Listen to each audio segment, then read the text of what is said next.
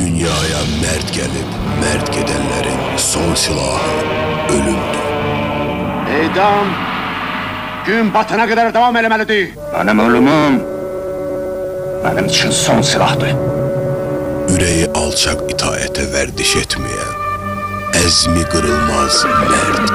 Bu dünyada bircə gün azad yaşamaq 40 il boyunduruq altında sürünməkdən daha üstündür.